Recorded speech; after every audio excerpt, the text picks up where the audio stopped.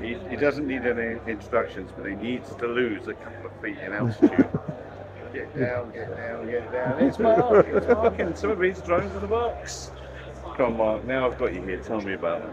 So yeah, so um, this is it. This is this is our Pixel. Um, So rather than just being on the stream and seeing you holding it, I am holding it now. Oh, you got Yeah. a lunchbox on the bottom.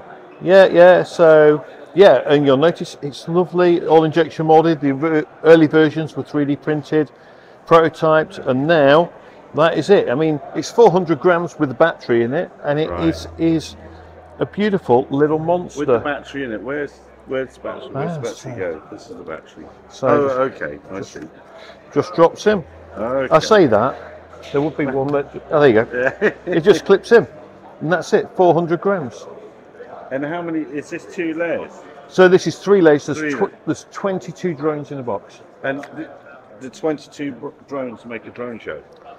You can do a drone show with 22, but it's So not. you, you're going to need. What would you need? You'd need what? Two boxes of this to make 40 with Yeah. four spares. Uh, I would to, to have a good drone show. You're looking at 150 to 200 in reality. Right, uh, okay. Um, you can do 20, you can do 50. 50 starts to get into basic 3D. Um, 100 will get you some really nice, starting to get into really nice stuff. But when you get to 200, you can start to do a lot more, and it starts to really open up. Yeah, And so, look, so that's that's little ones. Yeah. What's this one? Ah, so this is the new one. This is the Pyro version. This is the early R&D version. Pyro meaning. Pyrotech, yeah, pyrotechnics. So it holds pyrotechnics in here or in here, and then you just plug the wires into for the uh, triggers. igniters. Is that here? Yeah, so they're they're triggers and they're all in here. But however, the new version's a lot neater now. Right. We've just readapted the top case part to make it a little bit easier. You can take off the mount, change your mount.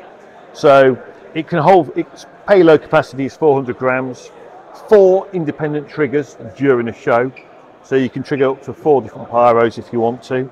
Um, yeah, and it's And is that um, the same batteries as in your other machine? Yes, exactly. So everything's usable. Right. We, we want everything to be as easy as. So how do you?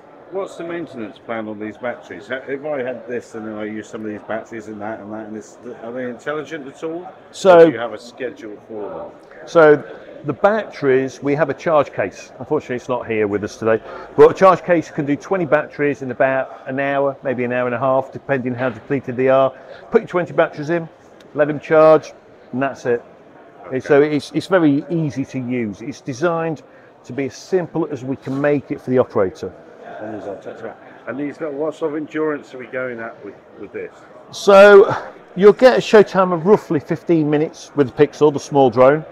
Does that 15 minutes of transit time? or 15 minutes from takeoff and Takeoff landing. landing. Yeah. So Um, how long would you allow for a transit to show to come home?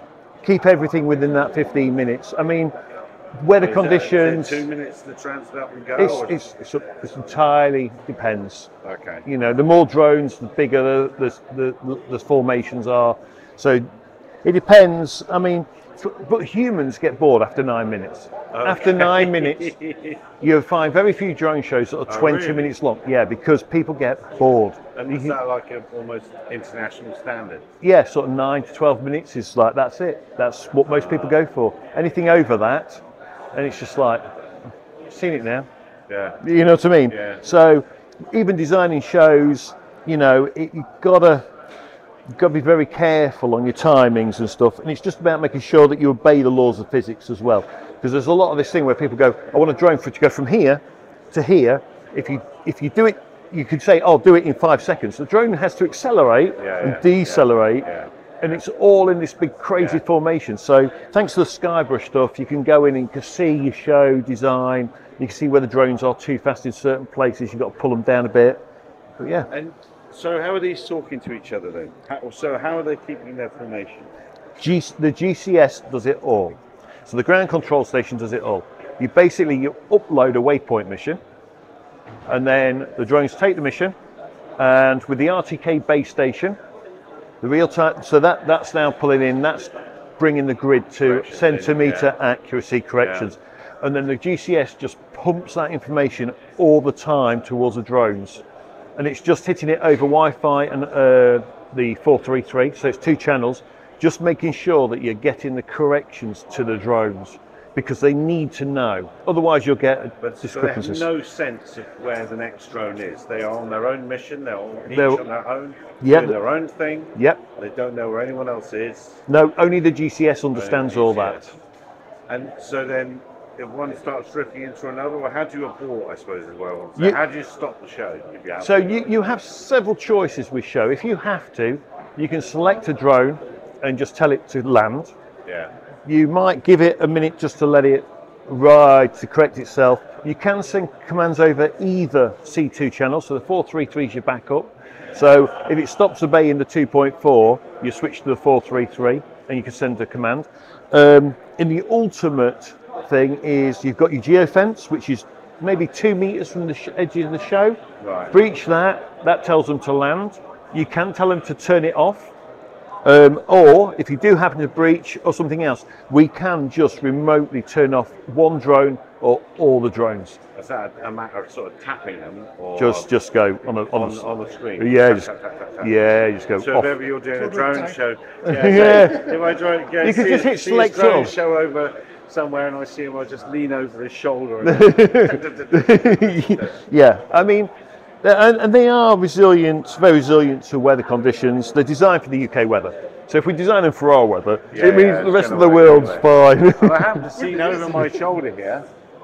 Yeah, Here he is. Here, this is the man. This is so it's Skybrush is his software. yeah, it's their software. Yeah, Yeah. yeah, So what does Skybrush do? What's your part in this thing? uh, just the software. I was talking about the hardware, we do the software part. So all the design of the drone shows and the execution and monitoring. But we, we uh, the great thing is working with Skybrush. Because was it three years now? Four years we've been working with you guys. Something like that. Yeah.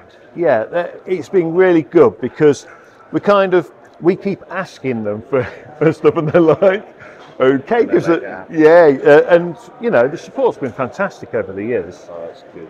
All right. Well, thanks very much. We'll talk to you on a Tuesday. You know who he is, dear viewer. Talk to you on a Tuesday, Max. Thank you.